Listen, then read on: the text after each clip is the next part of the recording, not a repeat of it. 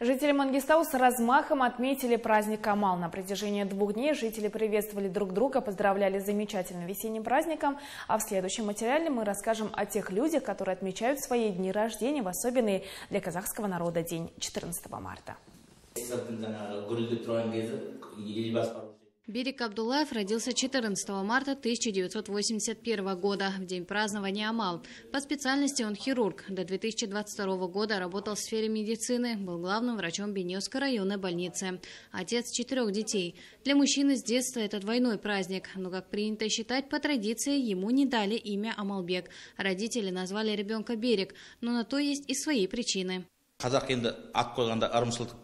Казахи обычно очень осторожны в выборе имени своему ребенку, ведь существует много поверий. Меня тоже хотели назвать Амалбек, но за ночь до этого моей маме приснился пожилой старец. Она считает, что это один из наших родственников, и пожелал назвать меня именно так.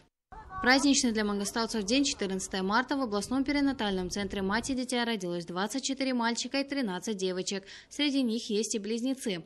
В целом, с начала года на свет появились свыше 1800 малышей.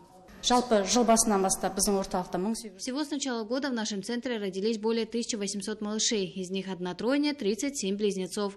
Могу сказать, что здоровье роженец сейчас стабильное, у матерей и детей хорошие условия. В канун праздника Амал рождены многие известные личности. Среди них прозаик, заслуженный деятель Казахстана Калихан Исак, диктор, тележурналист, отличник телерадио СССР Танас Утибаев и заслуженный мастер спорта Республики Казахстан, чемпион Олимпийских игр Бахтияр Артаев. Айжан Сабит, Мангир Турахмет, Надыржан Спандияров, Дидар.